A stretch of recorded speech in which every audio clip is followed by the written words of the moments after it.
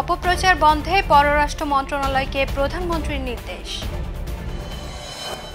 খালেদাকে গ্রেফতারের দাবি, অনশনের হুমকি।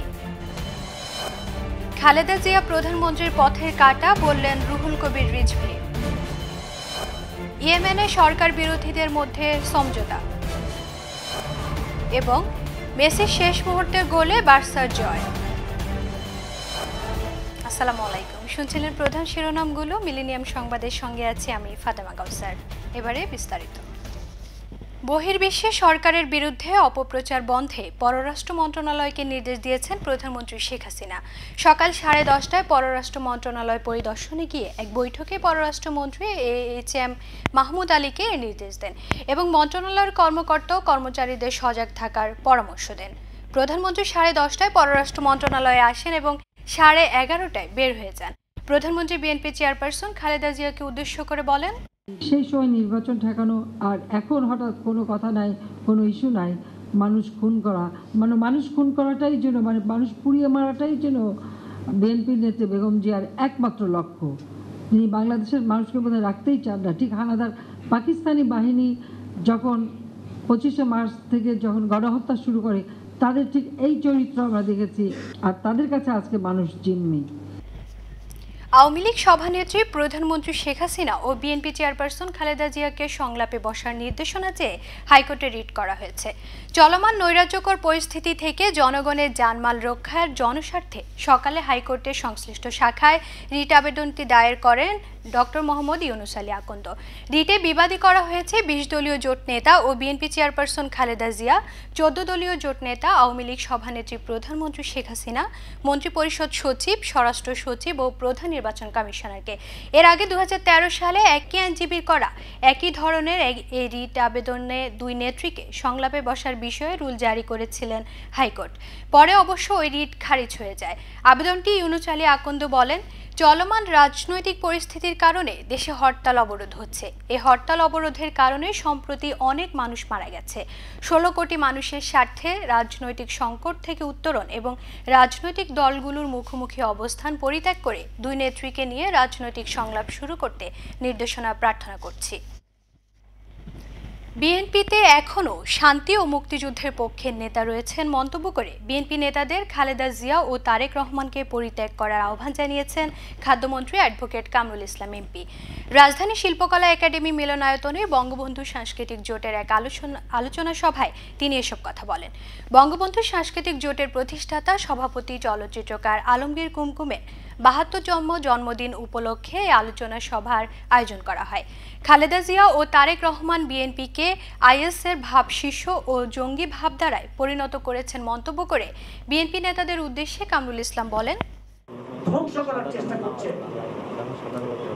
আপনারা দয়া করে আপনাদের দলটাকে রক্ষা করুন, দেশকে বাঁচানোর জন্য।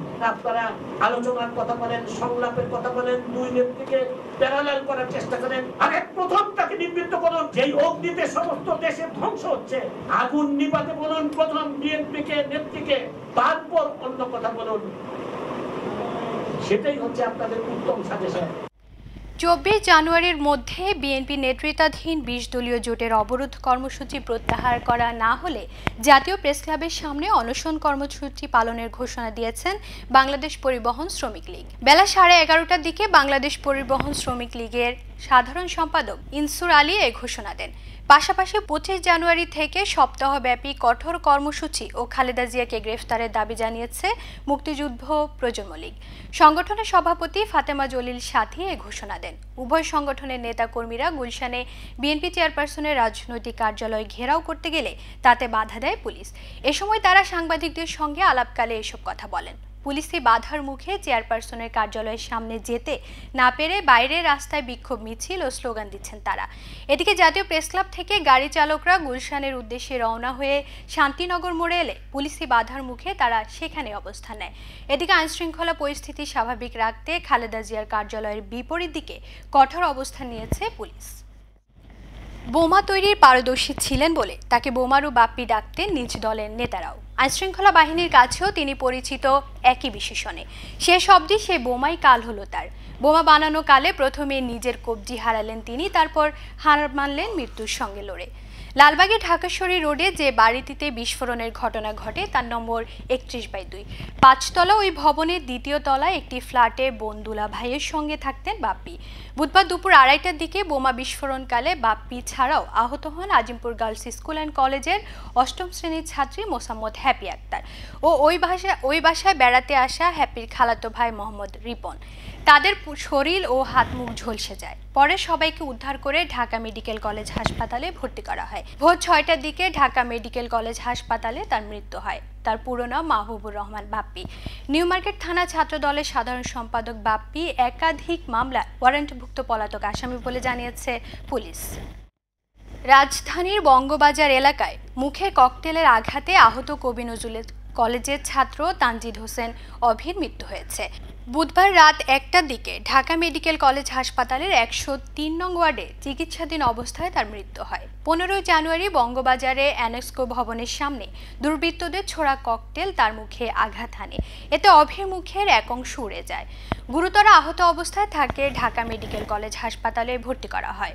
অভি, ধোলাইখাল কলতা বাজারের রোকনপুর এলাকার ডিম বিক্রেতা দেলোয়ার হোসেনের ছেলে ও কবি নজরুল কলেজের একাদশ শ্রেণির ছাত্র ছিলেন। প্রধানমন্ত্রী শেখ হাসিনা, বিএনপি চেয়ারপারসন খালেদা জিয়াকে পথের কাটা মনে করেন বলে দাবি করলেন বিএনপি দফতরের দায়িত্বপ্রাপ্ত যুগ্ম মহাসচিব অ্যাডভোকেট রুহুল কবির রিজভি আহমেদ। বৃহস্পতিবার বিশ দলীয় জোটের পক্ষে এক বিবৃতিতে রিজভি আহমেদ বলেন, প্রধানমন্ত্রীর দরকার ক্ষমতা, সেজন্য ক্ষমতা আঁকড়ে রাখতে সবচেয়ে বড় পথের কাটা মনে করেন দেশনেত্রী বেগম খালেদা জিয়াকে। সেজন্য রাজনৈতিক দৃশ্যপট থেকে তাকে সরিয়ে দেওয়ার জন্য ধারাবাহিক চক্রান্তের অংশ হিসেবে তাকে গ্রেফতারের আরেকটি চক্রান্তের নাটক মঞ্চস্থ করার আয়োজন চলছে। রিজভি আরও বলেন, প্রধানমন্ত্রী গতকাল জাতীয় সংসদে বলেছেন, দেশব্যাপী নাশকতার জন্য নাকি বেগম খালেদা জিয়াকে মানুষ হত্যার আসামি করা যৌক্তিক হবে। এ বিষয়ে রিজভি বলেন, প্রধানমন্ত্রীর সবসময় একটাই যুক্তি, সেটি হলো বিরোধী দল শূন্য দেশ, একদলীয় একটি রাষ্ট্র ব্যবস্থা। এই আকাঙ্ক্ষা বাস্তবায়িত করতেই তিনি অবৈধভাবে ক্ষমতা দখল করে বসে আছেন। লাগাতার অবরোধের মধ্যে বিশ দলীয় জোটের ডাকা হরতালে স্বাভাবিক রয়েছে রাজধানী। সকাল থেকে মানুষ ব্যস্ত নিজ নিজ কাজে। স্বাভাবিক রয়েছে যান চলাচল হরতালকে কেন্দ্র করে আইনশৃঙ্খলা বাহিনী রাজপথে রয়েছে সতর্ক অবস্থানে। নজরদারিতে রয়েছেন পথচারীরা। সন্দেহজনক মনে হলে তল্লাশি করা হচ্ছে তাদের। সকাল সাতটা থেকে রাজধানীর Mohammadpur, Asad gate, Khamarbari Farm Gate Karwan Bazar, Shahbag, Dhanmondi, new market, Kalabagan সহ বিভিন্ন এলাকা ঘুরে পাওয়া যায়নি নাশকতার কোনো খবর। বিভিন্ন গুরুত্বপূর্ণ মোড়ে দায়িত্ব পালন করছেন পুলিশ ও র্যাব সদস্যরা। সড়কগুলোতে নিয়মিত টহল দিচ্ছেন তারা। এছাড়াও সাদা পোশাকধারী গোয়েন্দা সংস্থার সদস্যরাও চোখ কান খোলা রাখছেন রাজধানীবাসীর নিরাপত্তায়। মাত্র বিশ হাজার টাকা খরচে বাংলাদেশ থেকে শ্রমিক নিবে সৌদি আরব সরকার। আমাদের সৌদি আরব প্রতিনিধি মোহাম্মদ এমদাদুল হক জানান, সৌদি আরবের রিয়াদে বাংলাদেশি কমিউনিটি দেয়া এক সংবর্ধনা অনুষ্ঠানে প্রধান অতিথির বক্তব্যে প্রবাসী কল্যাণ ও বাংলাদেশ বৈদেশিক কর্মসংস্থান মন্ত্রী ইঞ্জিনিয়ার খন্দকার মোশাররফ হোসেন বলেন, সৌদি আরব সরকারের উচ্চ পর্যায়ের বৈঠকে বাংলাদেশ থেকে দীর্ঘদিন বন্ধ থাকার পর আবারও শ্রমিক নেওয়ার ব্যাপারে আগ্রহ প্রকাশ করেছে সৌদি আরব সরকারের সংশ্লিষ্ট মন্ত্রণালয়। এ ব্যাপারে আগামী কয়েকদিনের মধ্যেই ঘোষণা দিবে সৌদি আরব সরকার। অনুষ্ঠানে সভাপতিত্ব করেন সৌদি আরবে নিযুক্ত বাংলাদেশের রাষ্ট্রদূত শহীদুল ইসলাম। সহিংসতা ও সন্ত্রাস কোনো রাজনীতি হতে পারে না বলে উল্লেখ করলেন জাতীয় সংসদের স্পিকার শিরিন শারমিন চৌধুরী। বৃহস্পতিবার ঢাকা মেডিকেল কলেজ ও হাসপাতালের বার্ন ইউনিটে নাশকতা, নাশকতায় ও দগ্ধদের দেখতে গিয়ে সাংবাদিকদের প্রশ্নের জবাবে কথা বলেন তিনি। তিনি বলেন, এটা অত্যন্ত নৃশংস নারকীয় অধ্যায়। একে কলঙ্কজনক অধ্যায় বলে আমি মনে করি। এ ধরনের সন্ত্রাস এবং সহিংসতা কোনো রাজনীতি হতে পারে না। তিনি বিএনপি সহ বিশ দলীয় জোটের উদ্দেশ্যে বলেন, সমগ্র বাংলাদেশের জনগণ, আমরা সকলে এই ব্যাপারে ঐক্যবদ্ধভাবে কীভাবে এটা বন্ধ করা যায় সে ব্যাপারে আমরা ইতিমধ্যেও কাজ করছি এবং আশা করি যেটা অতি শীঘ্রই বন্ধ হবে। প্রত্যেকটি দেশেই রাজনৈতিক প্রক্রিয়া থাকে এবং তার মাধ্যমেই দেশ এগিয়ে যায়। কিন্তু সেটার কারণ যাই থাকুক না কেন, তাহলে কি আমরা বল- বলতে পারব যে সেই কারণে আমরা নিরীহ মানুষকে অগ্নিদগ্ধ করব, তাদেরকে আমরা পেট্রোল বোমা দিয়ে পুড়িয়ে মারবো? কেন আমাদের কি আর সমাধানের কোনো পথ নেই? হরতাল অবরোধে ষোলো দিনে দেশের ব্যবসা বাণিজ্যে ছত্রিশ হাজার চারশো পঁয়তাল্লিশ কোটি ছিয়াত্তর লাখ টাকার ক্ষতি হয়েছে বলে জানিয়েছেন Dhaka chamber of commerce industries DCCI সভাপতি হোসেন খালেদ। বৃহস্পতিবার মধ্যঝিলের ডিসিসিআই এর অডিটোরিয়ামে সংবাদ সম্মেলনে তিনি কথা জানান। সংবাদ সম্মেলনের আয়োজন করেন ডিসিসিআই। ডিসিসিআর সভাপতি হোসেন খালেদ বলেন, চলমান হরতাল ও অবরোধে দেশের দৈনিক আর্থিক ক্ষতি হচ্ছে দুই হাজার দুশো সাতাত্তর কোটি ছিয়াশি লাখ টাকা। এছাড়া বছরে একদিনের হিসেবে মোট অভ্যন্তরীণ উৎপাদন জিডিপি তিন হাজার সাতশো এক কোটি পনেরো লাখ টাকা। সেই হিসেবে চলতি বছরের ষোলো দিনে হরতাল অবরোধের কারণে ক্ষয়ক্ষতির পরিমাণ জিডিপির দুই দশমিক সাত শূন্য শতাংশ। প্রিয় দর্শক, আপনি দেখছেন মিলেনিয়াম সংবাদ। এবার একটা বিরতি, ফিরছি একটু পর।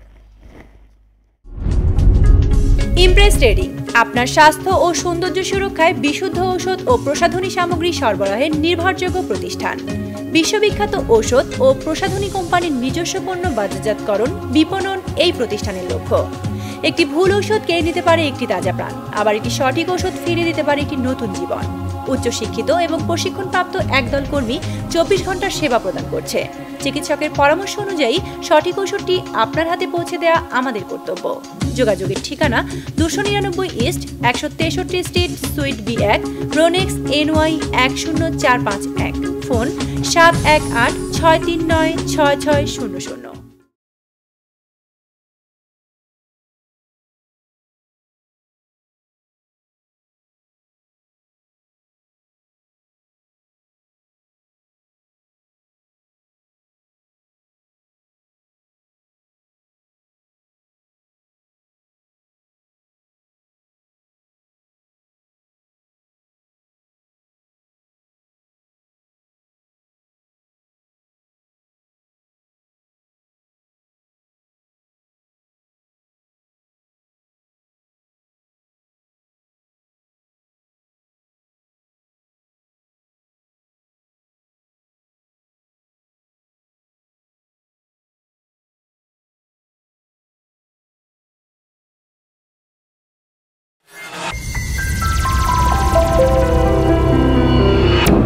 ডেভেলপমেন্ট একটি স্বপ্নের ঠিকানা একটি সুন্দর আবাসস্থল। ফ্রেন্ডস ডেভেলপমেন্ট আপনার স্বপ্নের বাস্তব রূপ দেয়। নতুন ডুপ্লেক্স অ্যাপার্টমেন্ট কমার্শিয়াল বিল্ডিং নির্মাণের জন্য নির্ভরযোগ্য একটি প্রতিষ্ঠান। ফ্রেন্ডস ডেভেলপমেন্ট অত্যাধুনিক ডিজাইন সর্বশেষ প্রযুক্তির সমন্বয়ে আমাদের কর্মতৎপরতা কনক্রিট সিমেন্ট আর ইস্পাতের মজবুত বন্ধনে গড়ে উঠুক আপনার বাড়ি।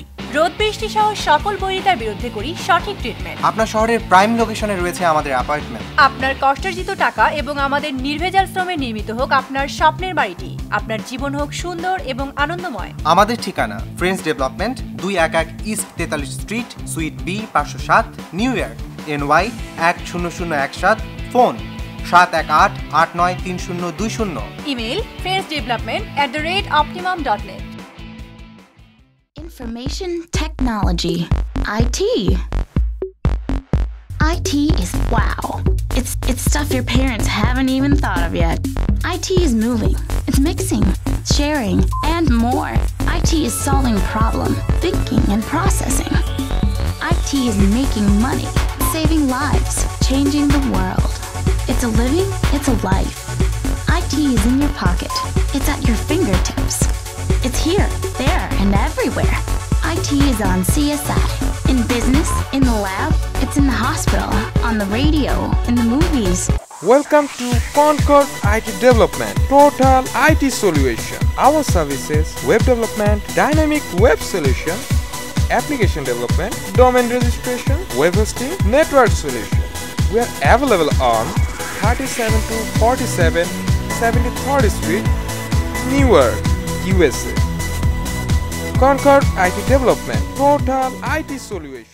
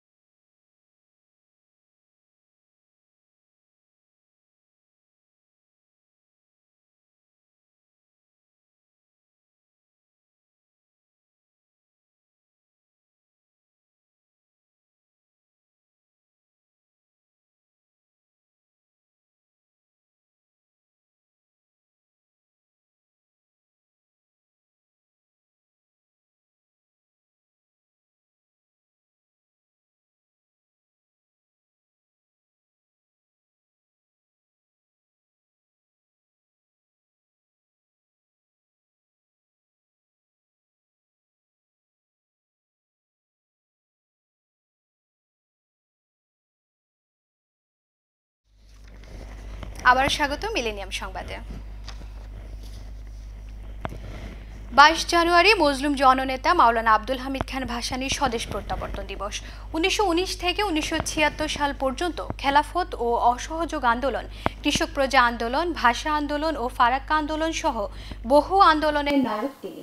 অসংখ্যবার কারাবাস ও অন্তরীণের মধ্য দিয়ে জীবনের পথ চলা ভাসানীর জীবন অবসান উনিশশো ছিয়াত্তর সালে সতেরোই নভেম্বর।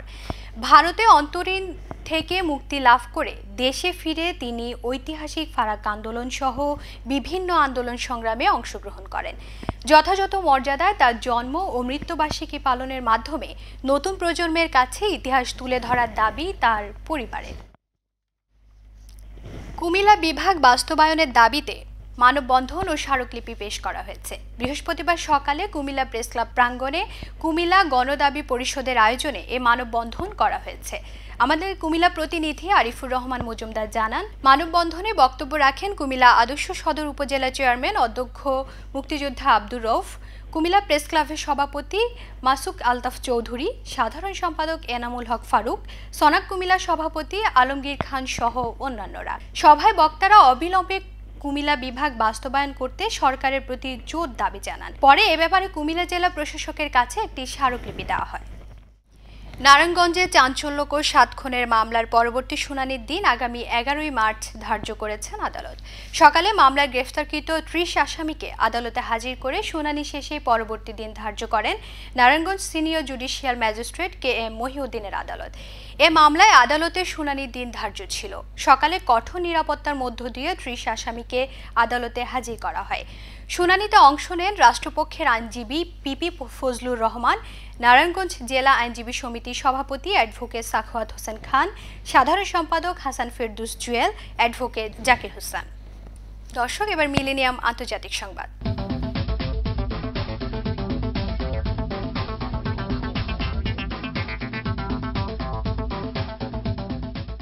ক্ষমতা ভাগাভাগির শর্তে একটি সমঝোতায় পৌঁছেছে ইয়েমেন সরকার ও হুতি বিদ্রোহীরা।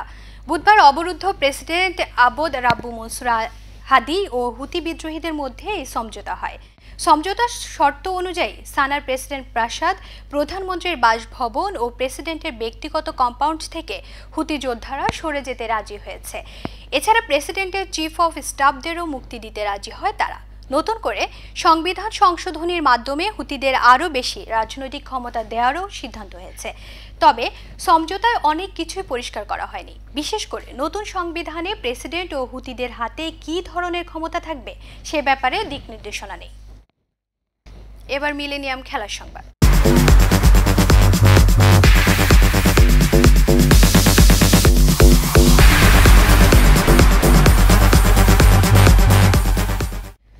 লিওনেল মেসি শেষ মুহূর্তের গোলে অ্যাথলেটিকো মাদ্রিদের বিপক্ষে এক শূন্য গোলে জয় পেল বার্সেলোনা। সেই সঙ্গে কোপা দেল রের কোয়ার্টার ফাইনালের প্রথম লেগ জিতে এক ধাপ এগিয়ে গেল কাতালান ক্লাবটি।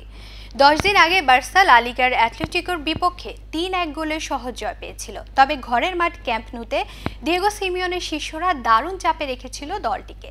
চাকে চাপে রাখারই কথা, কারণ গত মৌসুমে যে লারোজারা বার্সার কাছে ছয় ম্যাচের একটিতেও হারেনি। তবে দু দলের আক্রমণ, পাল্টা আক্রমণের পরও খেলার প্রথমার্ধ গোলশূন্য অবস্থায় রেফারি বিরতির বাঁশি বাজায়। বিরতি থেকে আবারও দু দলের আক্রমণাত্মক ফুটবল প্রদর্শন। তবে এবারও গোল বঞ্চিত হচ্ছে স্ট্রাইকাররা। এদিকে গোল না হয় দু দলের ফুটবলাররা ফাউল করতে থাকে। খেলার আটাত্তর মিনিটে লুইস সুয়ারেজ ও আশি মিনিটে জাভিয়ার, মাস্টারানো ভার্সার হয়ে হলুদ কার্ড পান। আর অ্যাথলেটিকোর হয়ে বিরাশি মিনিটে মিরান্ডাও হলুদ কার্ড পান। তবে রেফারি ফ্রি কিকের বাঁশি বাজালে মেসি যান কিক করতে। কিন্তু আবারও বক্সের সামনে সফরকারী ফুটবলাররা বাধা দিলে রেফারি পেনাল্টির বাঁশি বাজান। পেনাল্টি থেকে পেনাল্টি করতে যান আর্জেন্টাইন অধিনায়ক। খেলার পঁচাশি মিনিটে কিকো করেন তবে গোলকিপার জান ও ব্লাক তা সেভ করেও তা ধরে রাখতে পারেনি আর এই সুযোগ মেসি এই সুযোগে মেসি গোল করে দলের জয় সূচক স্কোর করেন। খেলার বাকি সময় আর কোনো গোল না হলে শেষ পর্যন্ত এক শূন্য গোলের জয় নিয়ে মাঠ ছাড়ে লুইস এনরিকের শিষ্যরা। সংবাদ শেষ করার আগে শিরোনামগুলো আরও একবার। অপপ্রচার বন্ধে পররাষ্ট্র মন্ত্রণালয়কে প্রধানমন্ত্রীর নির্দেশ। খালেদাকে গ্রেফতারের দাবি, অনশনের হুমকি। খালেদা জিয়া প্রধানমন্ত্রীর পথের কাটা বললেন রুহুল কবির রিজভি। ইয়েমেনে সরকার বিরোধীদের মধ্যে সমঝোতা। এবং মেসির শেষ মুহূর্তে গোলে বার্সার জয়। এ ছিল মিলেনিয়াম সংবাদে যে কোনো খবর পেতে লগ ইন করুন মিলেনিয়াম টিভি ডট নেট সঙ্গে থাকুন মিলেনিয়ামের, আল্লাহ হাফেজ।